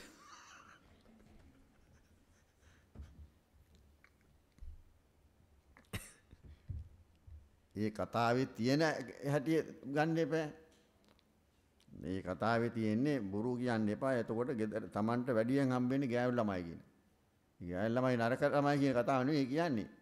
Tamanට එතකොට ටිකක් මේ සාමාන්‍යයෙන් ගෙදරක වුණත් ගෑනු ළමයි වැඩියෙන් ඉපදිච්චාම එතන මේ මව්පියන්ට වැඩි සැලකිල්ලක් දක්වන්න සිද්ධ වෙනවානේ. වැඩි අවධානයක් දාන්න සිද්ධ වෙනවා. වැඩියෙන් හොයන්න බලන්න සිද්ධ වෙනවා. කරදර වෙන්න වැඩි. ওই වගේ දේවල් නේ සිද්ධ වෙන්නේ. ඒකයි ඒ කියන්නේ. ඉතින් මේ ඉතින් ඒ හින්දා ඒක හරියට ගන්න නැතුව ඊට පස්සේ කියනවා බොරු කිව්වහම මෙහෙම වෙනවා කියලා. ඒක එක කාරණාවක් විතරයි එතන. ඉතින් තව තව ඒවා යෙදෙනවා. ඉතින් ඒ වගේ තමයි මේකත්. ඒ නිසා මේ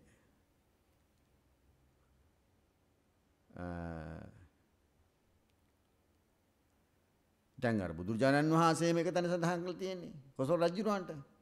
ඉත්තේපි ඒකච්චා අද්ධාපෝස ජනාධිප. මේ ධාවනී සීලවති සසුදේවා පතිබ්බත.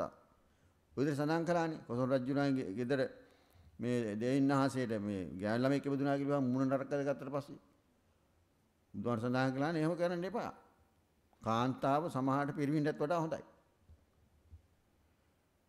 මේ ධාවිනී සීලවති මේ ධාවිනී හොඳට නුවණ තියෙන සීලවති සිල්වත් සසුදේවා පතිබ්බතා තමන්ගේ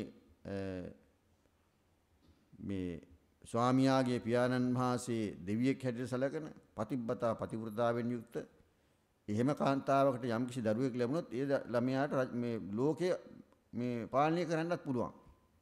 එහෙම සඳහන් කළේ. ඒතර කාන්තාවක් වශයෙන් ඉපදුනේ නැත්තම් ඉතින් මේ මේ මාරියන්නේ නැහැ නේද බෝධිසත්වයන් වහන්සේ පාල වුණේ මේ ඉපදුනේ මේ මේ කාන්තාවකටනේ. ඒ නිසා මේව හරියට මේ යන්තම් අහගෙන ඊට පස්සේ ඒක ලොකොට හිතාගෙන මේ ඔක්කොම ඒකට පටලව ගන්නවා. ඒකයි වෙන්නේ. එහෙම නැතිව යමක් අකුසලයක් නම් ඒ අකුසලයේ අත්හරින්න ඕන. වැරදි නම් සමාජමය වශයෙන් ගත්තාම ශිෂ්ටයි කියන සමාජයේ හොඳ කියනවා නම් මේ දේ හොඳ නෑ කියලා ඒවා අපි අත්හරින්න ඕන. ශිෂ්ටයි කියන සමාජයේ ඊළඟට බණ දහමට අනුව ගත්තාම මේ මේ දේවල් නරකයි කියලා තියෙනවා නම් ඒවා අපි අත්හරින්න ඕනේ. ඒවා කළොත් අනිෂ්ට විපාක ලැබෙනවා. ඒක එහෙමම තමයි. ඒ නිසා පවට බය වෙන්න ඕනේ.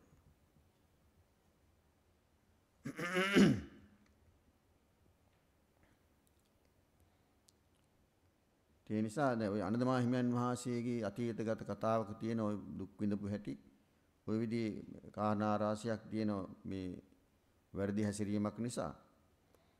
ඉතින් ඒ ඒවට අනිෂ්ට විපාක ලැබිච්ච හැටි තමයි ඒ සඳහන් කරලා තියෙන්නේ. ඒ නිසා අනිෂ්ට විපාක ලැබෙන කිසි දෙයක් මේ කට Taman යොමු වෙන්න හොඳ නැහැ. ඒකයි මතක තියාගන්න ඕනේ.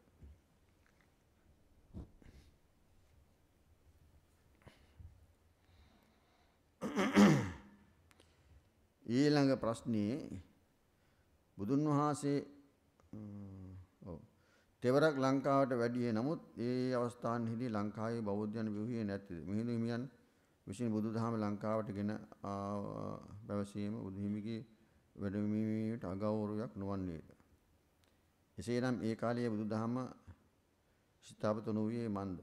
එවකට ඊතා දියුණු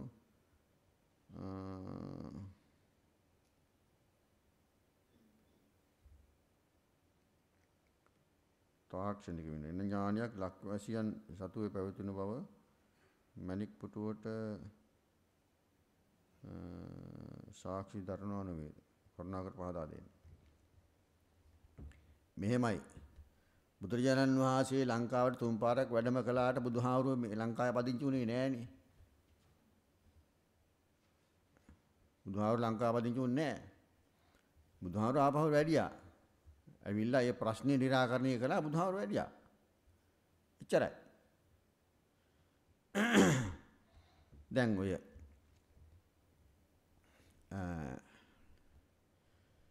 මහා වංශේ මහා වංශයේ තිබෙනවා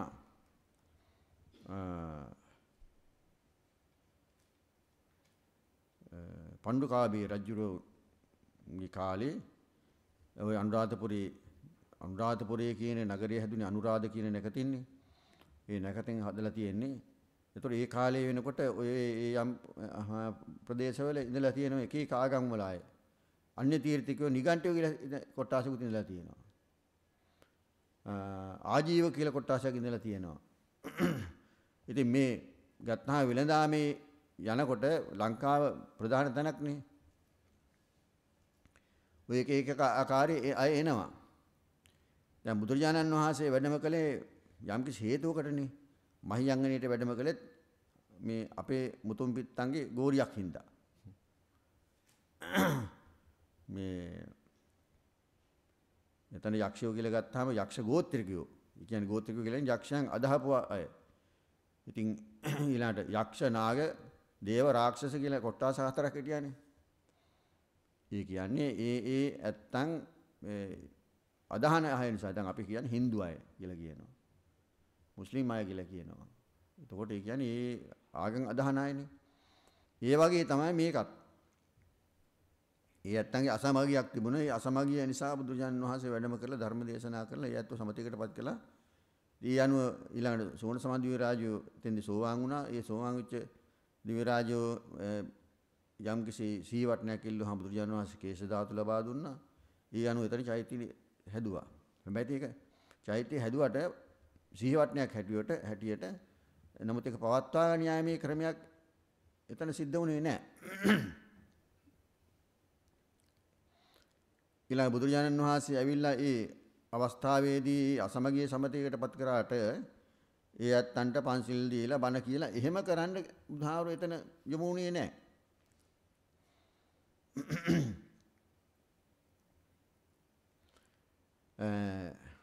කැලණියටත් එහෙමයි. නාගදීපෙත් එහෙමයි. නාගදීපෙට වැඩම කළෙත් අර මාමාගේ බෑනගේ මේ මේ මේ අසමගිය සංසිඳවන්නනේ ඒකට මේ වැඩම කළේ. දැන් ඊටත් කලින් තපස්සු බල්ලුක දෙදෙනා වෙළඳ දෙන්නෙක්නේ. යාළු මේ සහෝදරු දෙන්නෙන්නේ ඒ දෙන්නා යන ගමන් බුදුරජාණන් වහන්සේ ළඟට ගිහින් බුදුරජාණන් වහන්සේට මේ මොකද විලඳයි මේ පිඩුයි පූජා කරලා ඊළඟ බුදුරජාණන් වහන්සේගේ බණ අහලා දේවාචික උපාසකවරු වෙලා බුදුරජාණන් වහන්සේගෙන් ධාතුන් වහන්සේලා අරගෙන කේශ ධාතුන් අරගෙන ඒ යනම යන අතරමඟනේ ඔය තිරියායේ මේ නිධාන කළා කියලා කෙනෙක් ගිරිහඩු සෑයේ. ඒතර ගිරිහඩු සෑයක් එතන හදාගන්න මේ තරම් හැකියාවක් තියෙන යම්කිසි පරිසරයක් තියෙන්න එපා. ඒ හරිය ඒම ආරක්ෂා කරන මිනිස්සු ඉන්න ඕන. මේක මෙහෙම වටිනා දෙයක් කියලා. එතකොට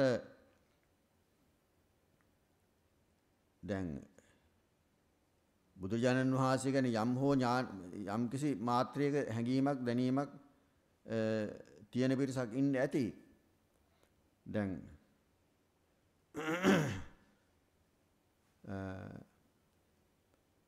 දැන් අපි ගම්මුකෝ දැන් අපේ වැඩි પરම්පරාව වැඩි પરම්පරාව ගත්තාම මේ ඔය විජේ රජුගේ කාලයේදී ඒ යුද්ධය නිසා කැළේ වැදුණු කට්ටිය කියලා කියනවනේ.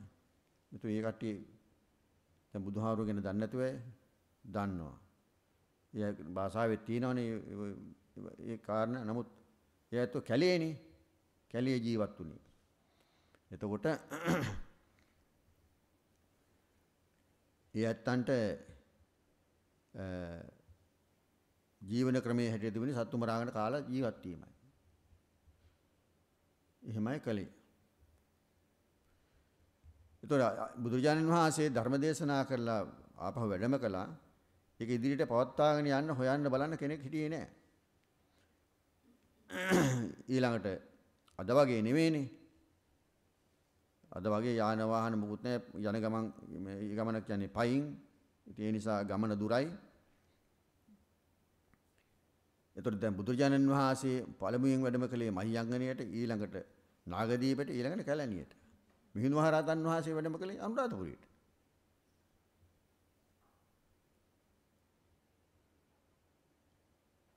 එතකොට අනුරාධපුරෙත් මිහින්තලයට වැඩම කළේ. එතකොට දැන් දේවානම්පියතිස්ස රජුරු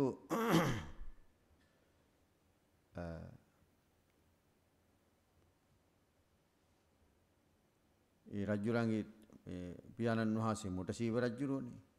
එතකොට ධර්මාශෝක රජුරුත් එක්ක යම් සම්බන්ධකමක් තිබ්බයි කියලා කියනවනේ. ඒක කොහොම නමුත් බුදුරජාණන් වහන්සේ ගැන යම් ප්‍රමාණයක දැනීමක් තියෙන ඉන්න ඇති. නමුත් හරියට ධර්මයේ කියා දෙන්න කෙනෙක් හිටියේ නැහැ. ඒකයි මේ කියන්නේ. මිහිඳු හාඳුරෝ වැඩම කරලා මිහිඳු හාරෝ ලංකාවේ නැවතුණා. ආපහු වැඩියේ නැහැ. උන්වහන්සේ පිරිනුවම් පෑවෙත් ලංකාවේ. ඉතින් මිහිඳු හාරංග වැඩම කරවීමෙන් තමයි මේක දියුණුවටපත් උනේ. අයි මේක ඉඳගෙනම මිහිඳු හාඳුරෝ මේ මේ මේවයි කරන්නේ කියලා නිතර නිතර ඒක පැහැදිලි කළා. පීරිස ඇති කළා. සංඝ ශාසනය ඇති කළා. බුදු බුදුරජාන් වහන්සේ වැඩම කළාට පස්සේ සංඝ ශාසනය ඇති කළේ නෑනේ. ශාසනයේ පිහිටන්න නම් ඒ රටේ කෙනෙක් පැවිදි වෙන්න ඕන කියලා කිව්වනේ. ඒකයි. ඒ නිසා මේක මේ බුදුහාරු වැඩම කළා කියන එක බුදුහාරන්ට නිග්‍රහයක් නෙවෙයි. මිහිඳුහාරන් වහන්සේ වැඩම කරලා නිකන් හිටියේ නෑ. අර ආපු පිරිසත් එක්ක ලංකාවේ නතර වුණා. නතර වෙලා මේක දිගට පවත්වාගෙන යන ක්‍රමයක් උන්වහන්සේ ක්‍රියාත්මක කළා. ඒකයි. බුදුජානන් වහන්සේ වැඩම කරලා ආපහු වැඩම කළා. සංඝ ශාසනයක් මේක ඇති කලේ නෑ බුදුජානන් වහන්සේ. මොකද ඒ අවස්ථාව නෙමෙයි. මොකද ඒක අවස්ථාව තියෙනවා නම් බුදුරජාණන් වහන්සේක දන්නවා. අනාගතයේදී මෙහෙම වෙනවා කියන එකත් බුදුහාමුදුරු දන්නවා. ඒකයි.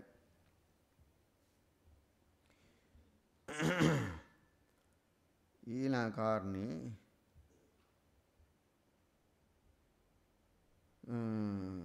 ධර්මයට අනුව අප ලෝකයේ කෙසේද දකින්නේ අනිච්චතෝ පසති දුක්ඛතෝ පසති අනත්තතෝ පසති. ලෝකේ දිහා බලන්න තියෙන්නේ එහෙමයි. ධර්මයට අනුව බලනවා කියන්නේ එහෙමයි. මේක නিত্য සුඛ දුක සුඛ වශයෙන් නෙවෙයි දකින්න තියෙන්නේ. ධර්මයට අනුව සියලු දේම අනිත්‍යයි. යද නිච්ඡන් තන් දුක්ඛං යමක් අනිත්‍ය නම් ඒක දුක දුකයි. යන් දුක්ඛං තදනත්තා යමක් දුක්සහගතයි නම් ඒක අනාත්මයි. Tamanගේ කියලා ගන්න දෙයක් නැහැ. ඒතකොට ධර්මයට අනුව කල්පනා කරනවා කියලා කියන්නේ එහෙමයි. අනිත්‍ය වශයෙන්, දුක්ඛ වශයෙන්, අනාත්ම වශයෙන් හැම දෙයක් පිළිබඳව දැකීම. අධර්මයේ ධර්මයට පටහැනියොත් දකින්න නම් තමයි නিত্য සුඛ වශයෙන් මේ ආත්ම වශයෙන් දකින්නේ. ධර්මයට අනුව බුදුරජාණන් වහන්සේ පැහැදිලි කළේ හැම දෙයක්ම අනිත්‍ය වශයෙන් දකින්න ඕන. අනිත්‍ය නම් දුකයි, දුක් නම් අනාත්මයි. එහෙමයි දකින්න ඕන. එතකොටයි හැම දෙයක් පිළිබඳව හරි අවබෝධයක් ඇති කරගන්න පුළුවන්කම තියෙන්නේ. ඉතින් හොඳයි පින්නත්නි ධර්ම සාකච්ඡාව සඳහා තියෙන ප්‍රශ්න අවසానයි.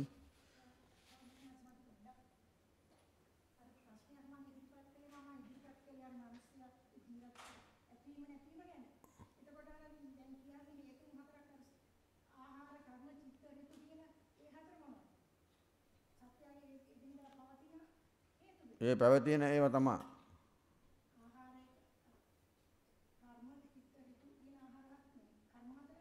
ඔව් ඔව්. ඒ කියන්නේ ඔය කියන්නේ රූප කියන්නේ කම්මජ රූප, චිත්තජ රූප, ආහාරජ රූප, ඉතුරු රූප, ඉතුරු ඍතුජ රූප. කම්මජ රූප කියන්නේ කර්මයෙන් ඇති වෙන රූප. නෑ නෑ නෑ නෑ නෑ. ඔය ඔක්කොම පටලවගෙන තියෙන්නේ. කම්මජ රූප කියන්නේ කර්මයෙන් ඇති වෙන ඒවා. චිත්තජ රූප කියලා කියන්නේ හිතෙන් ඇති වෙන ඒවා. උතුජ කියලා කියන්නේ ඍතු එහෙම එහෙම වෙනකොට ඇති වෙන රූප. ආහාරජ කියලා කියන්නේ ආහාරයෙන් ඇති වෙන ඒවා. ඒව තමයි රූප. එතකොට පවතිනකොට ඔය ආකාරයේ හතරෙන් තමයි මේ දේ සිද්ධ වෙන්නේ. ඒ පවතිනකොට එහෙම තමයි. කම්මජ කියන්නේ දැන් කර්මයෙන් ඇති වෙන ඒවා. කර්මාන රූපව ඇති වෙන රූප ඒක මූලික වෙනවා. ඊට පස්සේ චිත්තජ හිත නිසා දැන් හිතේ ද්වේෂයක් ඇති කරගත්තාම ඒ කයටත් බලපානවනේ. ඒ වගේම තමයි හොඳ පැත්ත කල්පනා කරනොත් ඒත් එහෙමයි. ඒ විදිහේ ඒ විදිහට ඔය කම්මජ, චිත්තජ, උතුජ, ආහාරජ කියන හතර ආකාරයෙන් මේ රූප වර්ධනී වීමක් වෙනවා නැත්නම් විනාශ වීමක් වෙනවා ඒ පවතින ආකාරය අනුව ඒකයි එතනදී සඳහන් කරලා තියෙන්නේ.